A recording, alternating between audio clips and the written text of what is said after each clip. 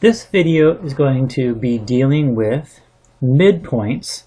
We've already covered some different examples of how to find the midpoint of a line segment or the midpoint or the middle point between two existing points.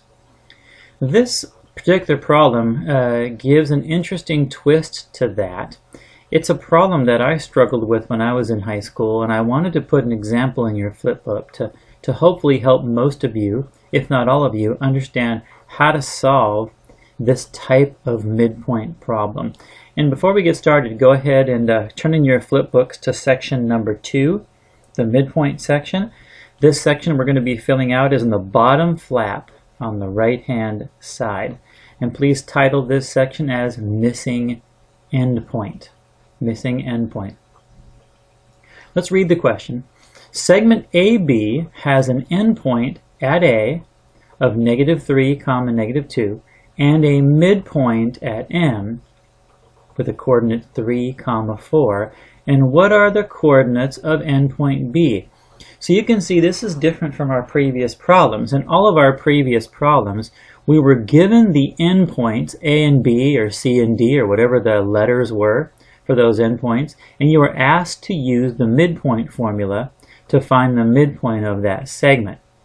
But in this case, we're given one endpoint and we're given the midpoint and they're asking us to find the coordinate of the other endpoint.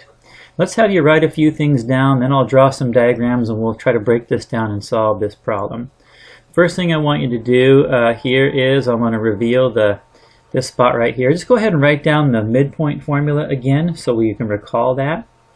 The midpoint is found by taking the value, the two x values of the endpoints and multiplying, sorry, adding them together and dividing by 2, comma, that's going to be the x value of the midpoint, and then we take the two y values of the endpoints, add them together, divide by 2, and that gives you the y value of the midpoint.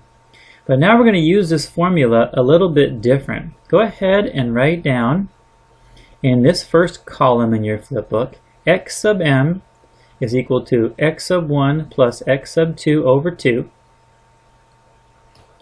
And then the other column, write down y sub m is equal to y sub 1 plus y sub 2 divided by 2. If you need to pause the video for a moment to get those written down, go ahead and do that. I will continue now.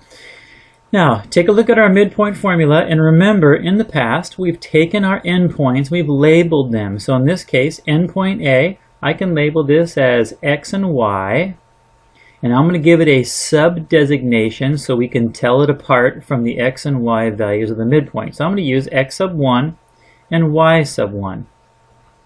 And now for the midpoint, Let's label this as x, and we're going to use the letter m to designate the x value of the midpoint, and y sub m to designate the y value of the midpoint. So notice, we know x sub 1 in our formula, we know y sub 1, we know the x value and the y value of the midpoint. What we don't know is x sub 2 and y sub 2. Those are the coordinates of the B endpoint, or the endpoint labeled B. If you want to quickly show this on a graph, just to see how this looks, really what they're telling us is, if we have a coordinate grid over here, they're telling us, and I'm not going to use these exact values, but just look at this as an example. If, if we knew, oh, let's go back to blue there. If we knew some point A on our graph, and then they told us, hey, you know what? The midpoint of this segment is right here. Then what you're being asked to do is figure out where is this value of B? Where is this other endpoint on this line segment? So instead of showing us A and B and asking for M, they're giving us A and M and asking us to find B. And we can still use this formula for that. Let's see how that works. Well, we know we know that this part of the formula right here, let me color this in purple, this part of the formula right here, this gives us the x value of the midpoint. And this part of the formula right here, this gives us the y value of the midpoint. So we can actually divide this midpoint formula into two separate formulas. The x value of the midpoint is equal to x sub 1 plus x sub 2 over 2. The y value of the midpoint is equal to y sub 1 plus y sub 2 over 2. And when we break it down this way, we should be able to actually solve for the x value of endpoint B and the y value of endpoint, endpoint B. Let's plug in the things that we know. We know that x sub m is 3. So that's going to be our number right here. 3 is equal to, we know that the x value of a is negative 3. We don't know what x sub 2 is, and we know that whole thing is going to be divided by 2. Same thing over here. We know that y sub m is equal to 4 we know that y sub 1 is equal to negative 2. What we don't know is y sub 2, and we know this whole thing has to be divided by 2. That's what our midpoint formula tells us. Well, now we have to solve these. Let's solve the left, left column first. Mathematically, we know that if this is a fraction with 2 in the denominator, the way I get rid of the 2 is I multiply both sides by 2. This is the denominator. I'm going to multiply it by the reciprocal, or 2 over 1. And when we do that, class, you can remember this from previous math classes, these two fractions multiply together. We can cancel like terms if they're on top and bottom. That means this 2, I'll draw that a little better so you see this. This 2 cancels. And this 2 cancels. And if we multiply this side by 2 over 1, we're going to have to multiply the other side of the equation by 2 over 1 as well. Because you have to keep your equation balanced. And let's multiply this out.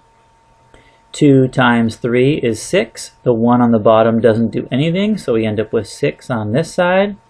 And since these 2's cancel and the 1 in the denominator does nothing, we end up with 6 equals negative 3 plus x sub 2.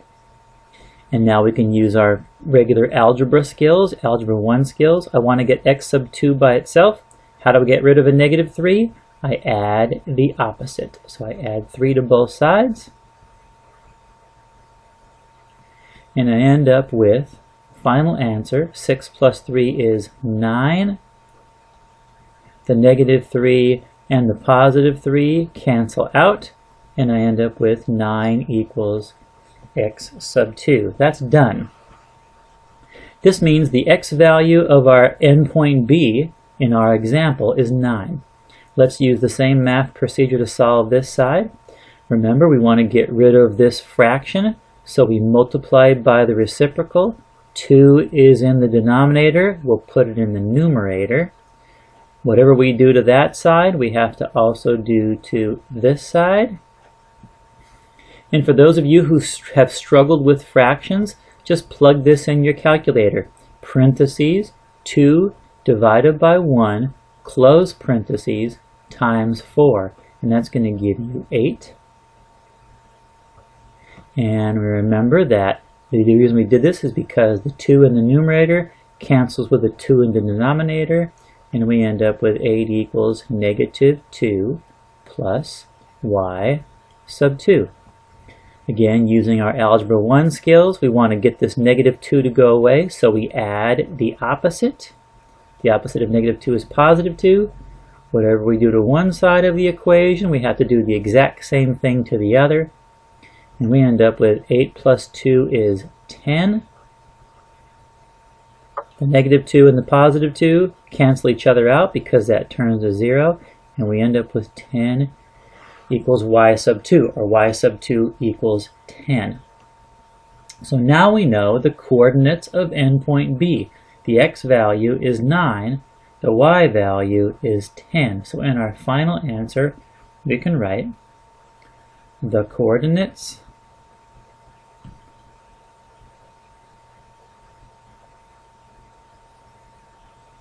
I'll put the coordinate of point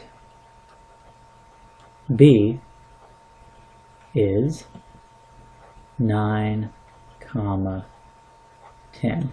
And we have now solved the missing endpoint of this particular problem.